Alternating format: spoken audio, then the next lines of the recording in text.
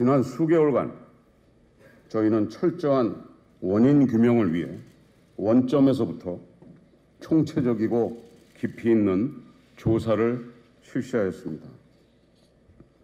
하드웨어, 소프트웨어 등 제품뿐만 아니라 각각의 검증 단계와 제조, 물류, 보관 등 전 공정을 모두 다시 점검하였습니다.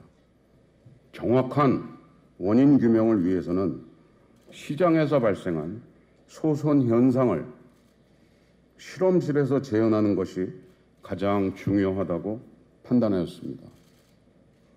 이를 위해 대규모의 재현 테스트 설비를 구축하여 충방전 테스트를 통해 시장에서 발생한 소손 현상을 재현하였으며 이를 바탕으로 정확한 분석을 진행할 수 있었습니다.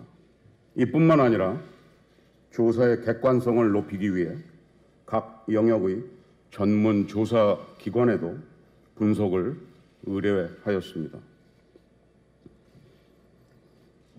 지금부터 소손 원인에 대한 저희의 분석 결과를 말씀드리겠습니다. 문제가 발생한 배터리에 대한 정밀 분석 결과 1차 리콜의 A 배터리와 2차 리콜의 B 배터리에서 서로 다른 현상을 확인하였습니다.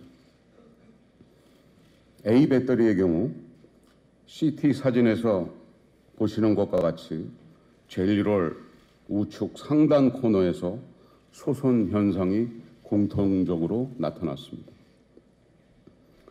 소손의 주요 원인은 음극판의 눌림 현상으로 분석되었습니다. 또한 음극 코팅부 끝단의 잘못된 위치 등 일부 추가 요인들이 소손 현상을 증가시키는 것으로 확인했습니다.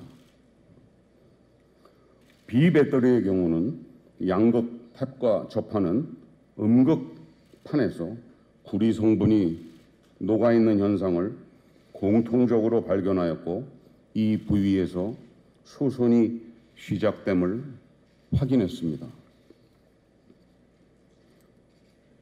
주요 원인은 양극 탭을 부착하는 초음파 융착 과정에서 발생한 비정상적으로 큰 융착 돌기가 절연 테이프와 분리막을 뚫고 음극 기제와 만나서 발생한 단락 현상인 것으로 확인되었습니다.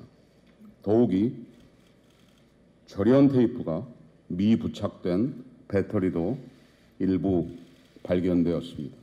결론적으로 노트 7 소손의 원인은 배터리에 있었습니다.